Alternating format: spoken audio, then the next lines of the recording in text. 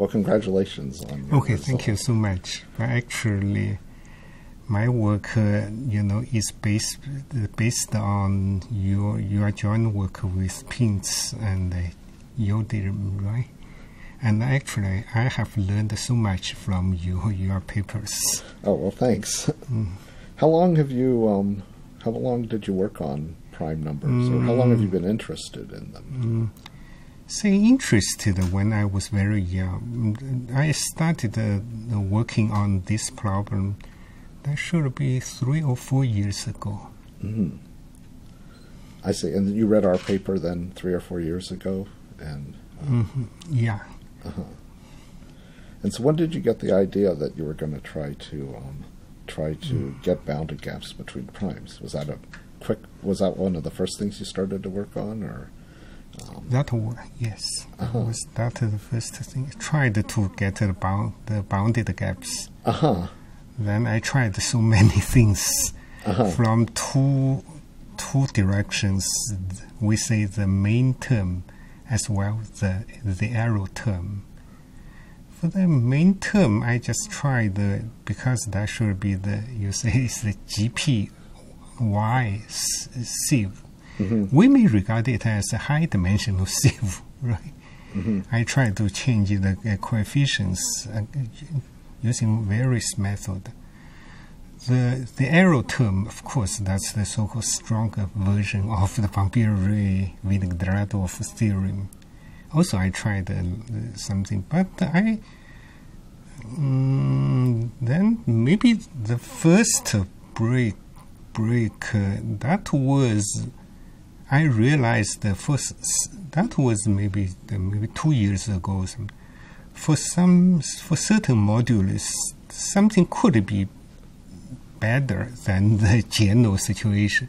hmm But then, and then- whenever I found something on the error terms, I I turned back turned back to the main term. Then just combine again, again, again. Uh huh. Then last year, as I said, it's on the on July third, I found that there should be a certain way to solve it. Uh huh. Yeah, because you know, I guess Pintz and Motohashi had they had the idea some an I, similar idea with the modulus, but they never they never could do the error terms. Yeah. I don't know if they ever tried super serious. I don't know if they thought they could do it. Mm. Um, They could. I got an email from Professor Pintz, uh, but he just said uh, because he didn't know the Klusman, Klusman is something yeah, like that. Kloostermania. Klusmania, yeah, Yeah. that's that's an interesting word. Uh huh. So he couldn't uh, just go f- go further Uh-huh. in this direction. I just know that. hmm maybe maybe I was lucky. No, I, don't think so. something. Yeah, because it's funny because you know the uh, hmm. Eutz and Friedlander and hmm. Bombieri, they all hmm. worked. They worked on the Kloostermania side, hmm and I think they never they never modified the main term. So Yes. you know they were trying to purely do a higher level of distribution with you know basically with all the moduluses. Yeah. Um, mm, a major problem on in the error term error terms is that is it necessary to take the absolute value? hmm I I found it, I tried another way is to avoid the absolute value, just following the Bombieri, Friedland, and the Iwaniec, but it was very difficult. hmm Then, but if we take, we, we have to take the absolute value onto each error term. Uh-huh. That's more difficult. But as I just found, for certain modulus with a certain arithmetic uh, properties, maybe it could be better hmm because we have, as I say, we have the factorization or something like this. I tried many times to to find for which one is better. Eventually, from both the main terms and the, the error terms, they come come together. Together. Uh-huh. They came together. Yeah, well, that was fantastic. Uh, let me ask you something. Um, I spent years working on um, if you assume level of distribution one, Mm-hmm. trying to get gaps that were um, less than 16. Mm-hmm. Did you ever try to, you know, assume Mm. a higher a higher level of distribution Yeah, and then try to improve on the main the GPY Mm. main term through some argument? Yeah, to reduce the value 16. Yeah, It's possible. you think so? I think it's possible. Uh huh. Um, because, you know, uh, as I mentioned, I use uh, two sums, S1, S2. There should be the third sum, S3. S3 is, is uh, just as trivially is bigger, bigger than S2. And also, we just need to prove S3 is greater than S1. hmm So there, that should be some something in advantage. We can do it using this one. The S3. What is S three? Is that the We take the the summation over the. I say the function. Your function the theta. Mhm. Theta of n plus h1 n plus h2. That is the summation. hmm Then for this, uh, the summation over the i from 1 to k, hmm we take a brackets, then we take a square out. uh huh Then that one, some idea of the circle methods uh huh works. That but it's very tricky. I Uh-huh. can only find a lower bound for the S3. I can't uh, evaluate it. It's Uh-huh. something very tricky. We can find a lower bound. What I found is mm, the lower bound for the S3 should be bigger than S2. uh huh But I'm not very sure. I may check it. uh huh So in that way, maybe the 16 on assuming the Halberstam uh, Uh, yeah, conjecture, that may be reduced. uh huh. So maybe later on I may. Yeah, that would be really good. I I spent five years, oh, not all five years, but I've tried everything in the world on that. Um, I mean, the goal, of course, was the goal is to prove if you have level distribution one, you could maybe get down to gaps of size six. Maybe. I mean, that's Yeah. sort of. maybe. May, I mean, that would sort of be maybe the limit. Um, did you ever think about um, trying to get more than two primes, or I mean, try to get three primes? Um, That's. Uh, I think maybe the unconditional results should be could be very difficult. Uh, Right. But I'm not sure. Maybe some. We may try it, but Uh-huh. still, it's. I'm not very sure. Like this. but what about with Elliott Halberstam? Could you think you could go over the limit and get to three primes, uh, bounded gaps between three primes? That could be very difficult. this is what I can say. Uh huh. But something should be a little interesting. Yeah. so that was the Hardy-Littlewood conjecture, or one of the conjectures.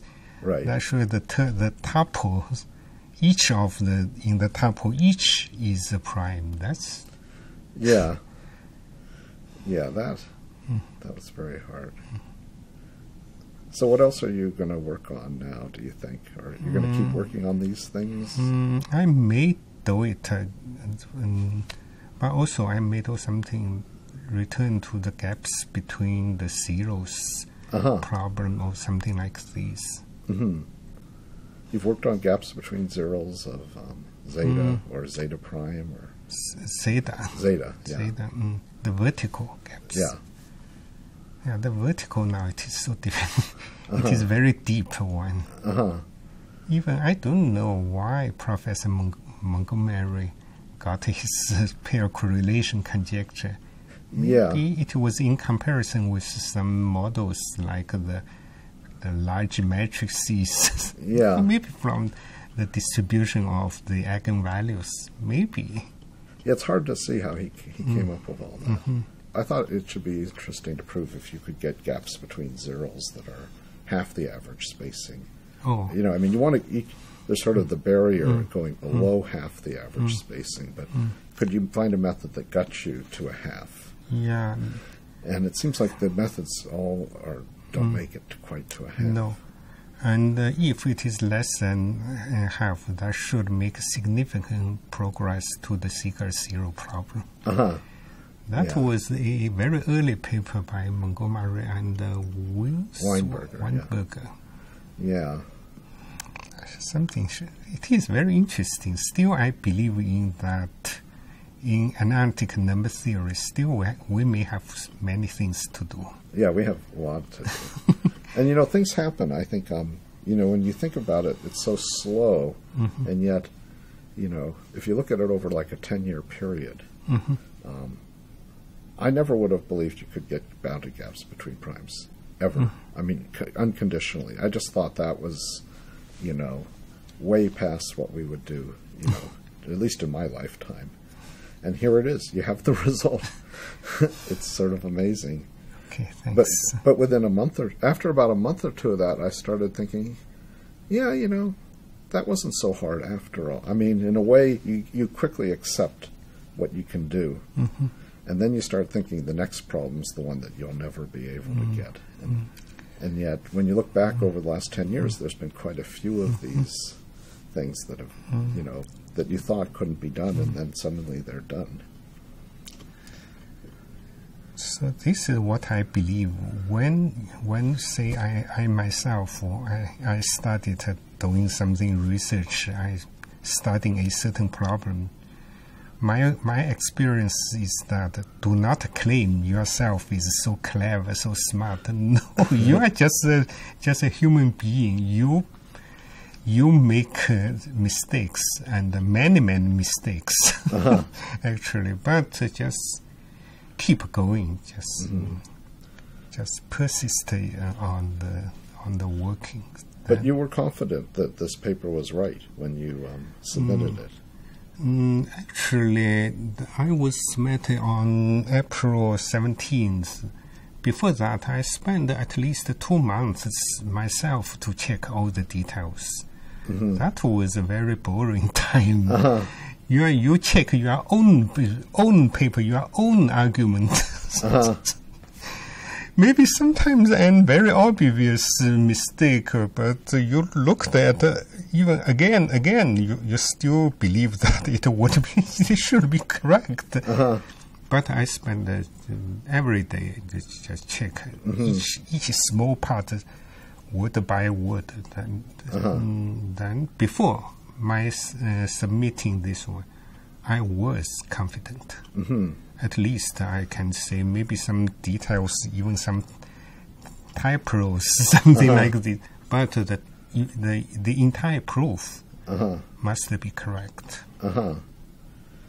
You know, I, I used to be that way, but I I got crushed a few because because you see before Pintz and mm. Yildirim and I did it, mm. Yildirim and I thought mm. we had proved something, and um, and we were sort of in a rush.